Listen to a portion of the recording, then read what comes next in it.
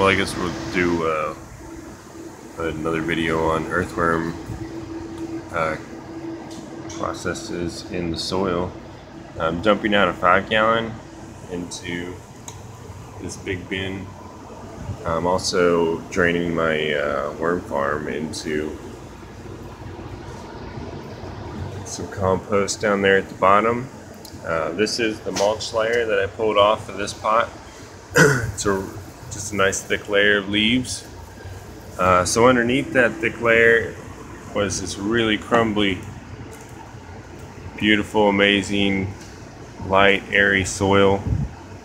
Uh, just filled with worms right underneath the surface there. There's still a ton of worms crawling away here all over the place. Um, and this is a five gallon no-till. It's been going um, since the beginning of the year.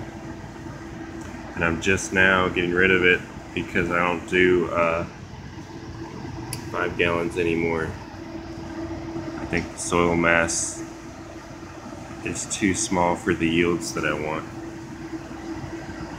Um, but anyways, just wanted to show you guys uh, that you can do no-till all year long, no problem, in five gallons if that's what you want.